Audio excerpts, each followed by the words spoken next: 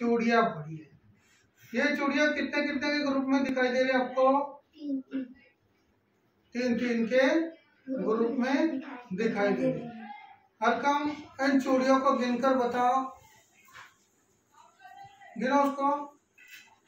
तीन जमा तीन छः हाँ। जमा तीन नौ हाँ। जमा तीन बारह। शाबाश। ये चूड़िया जो है कुल मिलाकर कितनी है? बारह। तो देखो तीन तीन के ग्रुप में अगर हम करते हैं तीन और तीन छः जमा तीन नौ जमा तीन बारह तो ये ना करते हुए हम डायरेक्ट डायरेक्ट भी बोल सकते हैं कि तीन चौक तीन चौक। बारह तो इतना ना गिनते हुए हम डायरेक्ट जो है जर्ब का इस्तेमाल कर सकते हैं। काय का इस्तेमाल करें हमने इसको? आसानी से गिनने के लिए काय का इस्तेमाल करें? जर्ब का। किस तरह से करें? तीन जर्ब, चार? बराबर? बारह। शाबाश। अभी जो है, अब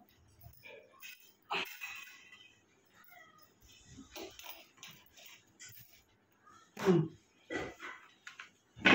सैफुल्ला आपके सामने क्या पड़ा हुआ है ये? अच्छा आतिफ आपके सामने क्या पड़ा हुआ है? कुछ बुक्स है कुछ कॉपियाँ है है ना? अब आतिफ जो है इनको जो है दो दो के ग्रुप में लगाओ। बोलकर लगा दो। दो। हाँ। चार। हाँ। छः। उसके ऊपर आठ। हम्म। दस। अभी जो है शेफुल्ला ये देखो ये दस कॉपी आपके सामने पड़ी है।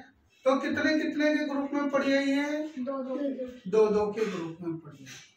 तो देखो दो जमा दो जमा दो। जमा दो। जमा दो। तो ये ना कहते हुए हम जो है ये कह सकते हैं कि दो जरब पाँच। दो जरब। पाँच। इसके लिए हमने कौन सी अलामत का इस्तेमाल करें? जरब। की अलामत का इस्तेमाल करें। तो इतने दो दो के ग्रुप में न चुनते हुए हम जो इसे दो जरब पाँच यानी दो पंजे दस।